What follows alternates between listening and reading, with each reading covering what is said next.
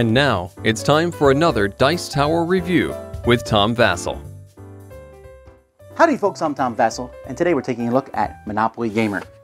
Now, Monopoly is a game which is probably the best known game in the world. It's a game that a lot of people like, a lot of people hate, and a lot of people really, really, really, really hate. Um, but you know what? There's been some good versions of Monopoly over the year for sure. Monopoly Tropical Tycoon, and I'm a fan of Super Mario, as is most people. More people know who Super Mario is than know who Mickey Mouse is. That's how popular he is. So this is called Monopoly Gamer. I'm a gamer, so let's give this game a whirl. I know it's different than Monopoly. They certainly advertise that, that it's going to be different, and it is different quite a bit. Here's how.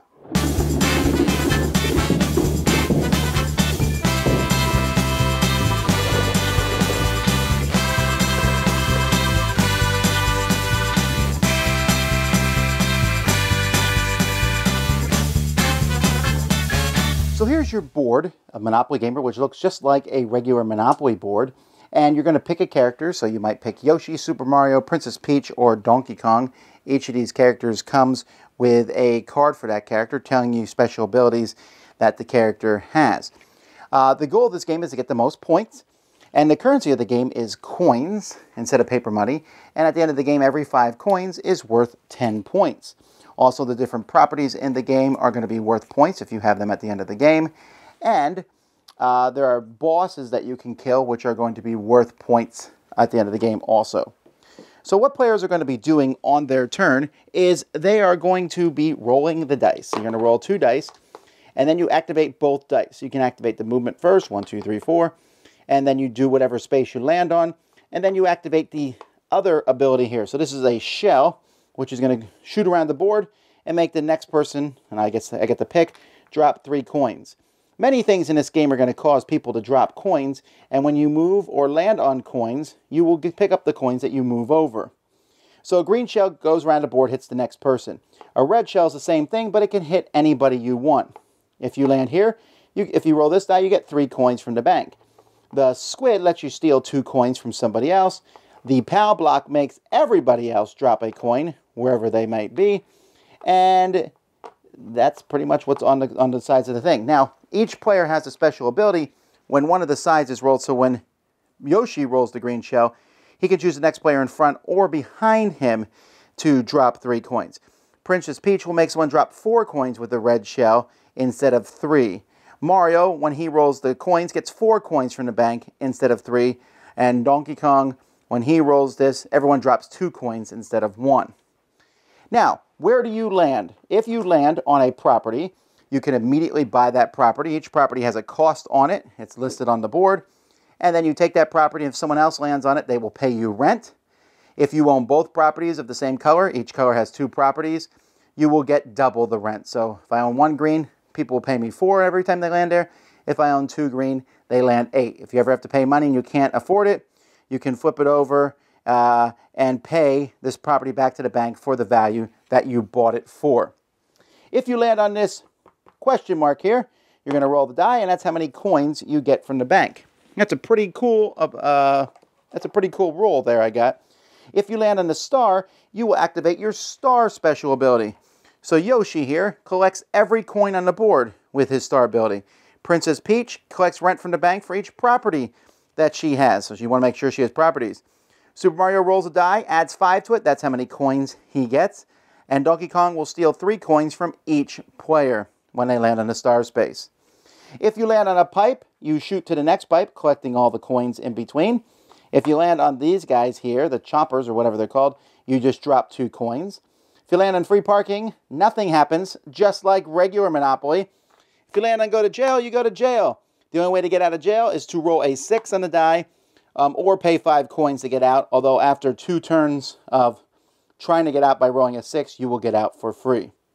The first time someone hits go, by the way, you get two coins every time you pass go, we'll turn over a boss card. And that person can decide to fight the boss or not. There's a cost, they pay the coin, they roll the die, a three or higher, they beat it. If not, it goes to the next person. And it keeps going around the table till everyone passes, in which case the boss runs away, or till someone pays and rolls a number, in which case they get the card which is worth points and something else. For example, here, take the least expensive unowned property. And every time someone else hits go, there's a new boss monster until finally we get to Bowser himself worth 100 points and the game ends. And then you just count up the points and whoever has the most points is the winner. Now, uh, there are other characters in the game. There's only four here, but you can buy packs of characters and you can get Wario, Wario, Wario, Rosalina, uh, Tanuki Mario, Fire Mario, Boo, Diddy Kong, Toad, Luigi, who is best because why? He's tall. And these characters all come with their own figure, and so you can pick which character you're going to use, although the game is still only four players. However, there's a party mode where each person has three characters, and you start with one on the board, and at any point on your turn, you can switch out your character and put the other character in so you can start using their special abilities, which gives you a lot more options because I might be using Toad, who collects five coins when he lands on a star. I roll the dice, see that I land on a star, and I'm like, ah, I'd rather land. I'd rather use Diddy Kong where I can go forward or backwards three spaces. So basically, it just gives you more options. It's the party game mode. Anyway, that's how you play. All right, first of all, boo to the cash grab. And what I mean by that is, I like that this game is here. I don't like the fact that you buy these booster packs of characters just to get more characters for the game. Yes, they're, you know, Nintendo has that kind of power and people will do it, just like the amiibo, amiibos for the, the video games and such. But at least you can see which one you're buying. When you pick it up, I was like, oh, these better not be random, but they weren't. So I was able to get all eight of the extra characters. But it does add considerably to the price of the game. They are good figures, they look fun, and the whole game feels more Mario than it feels Monopoly. All right, Monopoly has all that money and tax and all that. This gets rid of it. This has coins. Bing!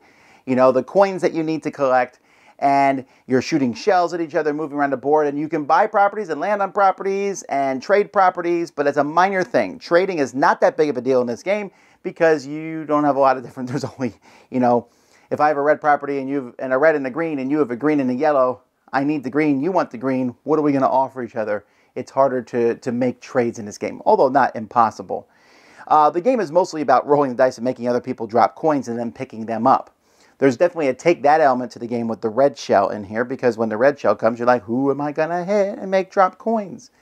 But there's also strategy to that too. I might make Susan lose some coins on the board but if Sally is right behind her on the board, she's just going to swoop by and grab those coins. So even though there's a take that element, there is some thoughtfulness to it. And the fact that you can activate each dice first gives some strategy because I might roll the green shell and then move past you so I can shoot the green shell at the next person in front of us. But the game is still lucky. Like, lucky, lucky, lucky, lucky, lucky. Especially with those bosses. Those bosses are worth a lot of points. You need to roll three or higher, or four or higher, or five or higher, depending on the boss. So the first person to roll a five or higher gets the boss, for example. Well, that's just luck. There's nothing you can do to modify those rolls. There's nothing you can do about that. It's just luck who kills the boss. I guess you can make sure you have a lot of money to be prepared to roll, but frankly, it just comes down to luck. It's luck as you land on the properties. And just like Monopoly, there's an auction for properties, but unlike Monopoly, there's never a reason in this game not to buy a property because if you ever need money, you just sell your property for the exact amount you bought it for which doesn't teach kids about devaluation of houses, but that's besides the point. The game is best with the, the party mode. If you have three characters, because switching them in and out gives you a lot more options. It's fun too, right? Oh, I'm using Boo now, ha ha ha. You know, as, as you bring these people in and out, but it also gives you some more strategy that you're playing. But the game is really devoid of strategy for the most part. You're mostly rolling dice and seeing what happens. Now, you have choices to make, but those choices are mostly take that to other players.